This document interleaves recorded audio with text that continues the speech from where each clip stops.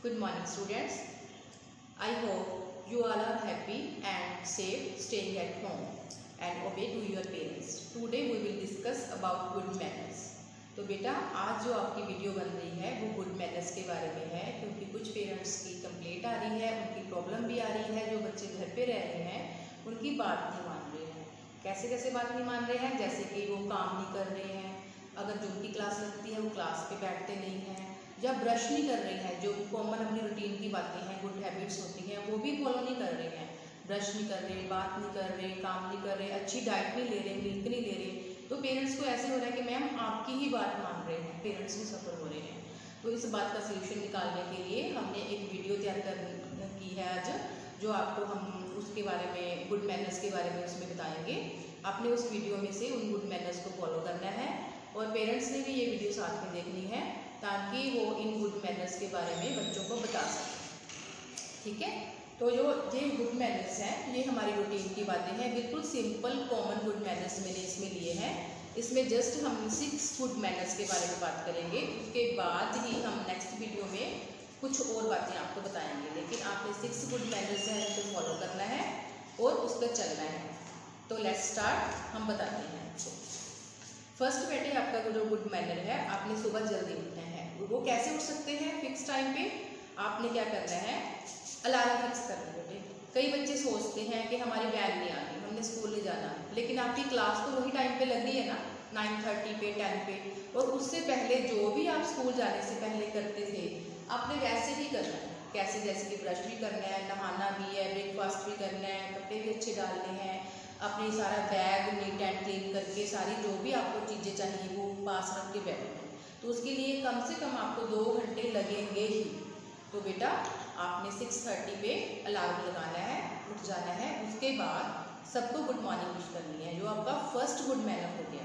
First good manner क्या हो गया? रिपीट करती हूँ मैं। आपने सुबह जल्दी उठना है अलार्म पे। उसके बाद घर के सभी मेंबर्स जो भी हैं, उनको गुड मॉर्निंग विश करनी है। ओके तो सेकंड गुड मैनर क्या है आपका? उसके बाद आपके मम्मी को, बेटे, पापा को कहना ना पड़े कि आपने ब्रश करना है। आपने खुद ही अपने मम्मी, पापा को बोलना है कि मम्मा, हमारे ब्रश पर पेस्ट लगा दो, हमने ब्रश करना है। ओके ब्रश एंड बाथ करनी है। सेकंड गुड मैनर क्या है आपका?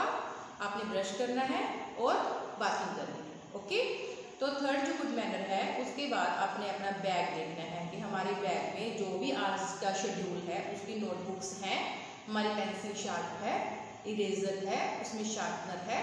तो बेटे हम आपको पीडीएफ सेंड कर देते हैं। आपने अपना बैग प्रॉपर करके गिन के चीज़ों को बैग में डाल के साइड पे रख देना है ताकि आपके मम्मी जो भी आपको पीडीएफ आ रही है, उसका काम डाल देंगे ओके उसके बाद आपकी जो ड्यूटी है हेल्दी फ़ूड लेने की। फोर्थ फ़ूड मैनर क्या है? हेल्थी फ़ूड उसमें क्या क्या लेना है? जैसे ब्रेकफास्ट है बेटे, आप ब्रेकफास्ट करती हो लंच भी करती हो डिनर भी करती हो।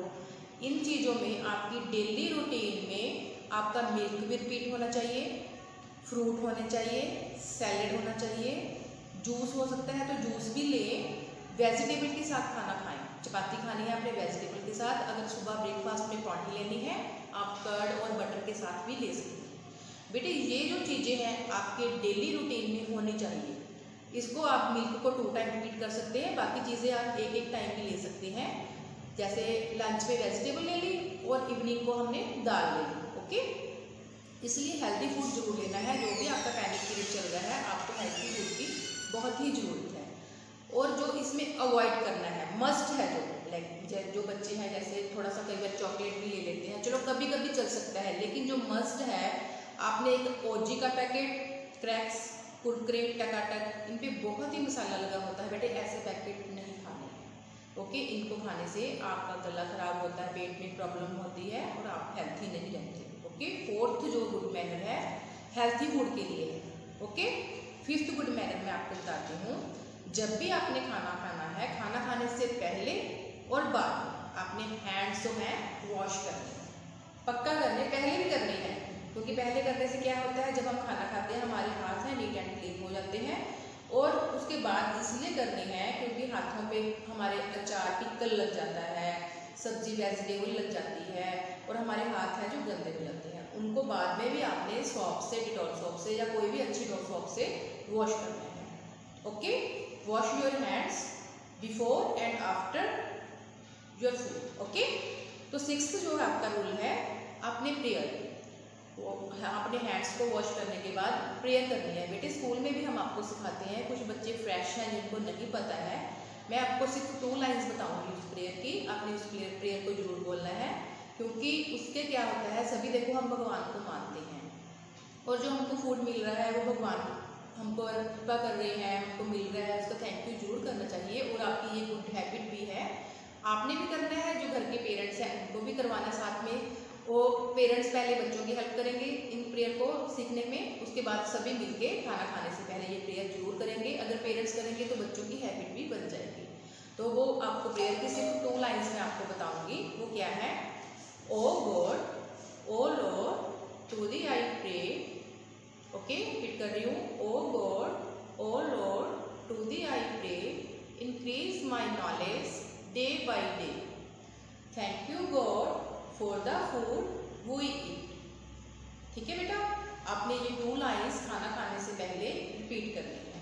तो आपकी जो सिक्स गुड मैनर है, वो मैंने आपको बता दिए हैं। फ़र्स्ट है, जल्दी उठना गुड मॉर्निंग विश करना सेकंड जो है ब्रश करना और बाथिंग लेना थर्ड जो है, अपने बैग को नीट एंड क्लीन करके सभी सामान बैग में डाल के रखना. फोर्थ अपने हेल्थी फ़ूड लेना है.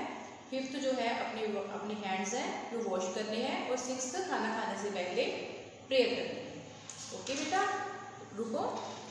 एक मैं एंड में आपको बता रही हूँ, आप अगर इन गुड मैनर्स को अडॉप्ट करेंगे, एक हफ़्ता पेरेंट्स इन मैनर्स को सीखने में बच्चों की हेल्प करेंगे उसके बाद, एक हफ़्ते के बाद हम आपको कॉल करके इसकी डिटेल लेंगे कि बच्चे इन सिक्स गुड मैनर्स में से किन किन गुड मैनर्स को फॉलो करने लगे हैं।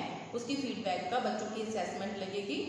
तो मेरे को होप है कि आपको ये वीडियो अच्छी लगेगी।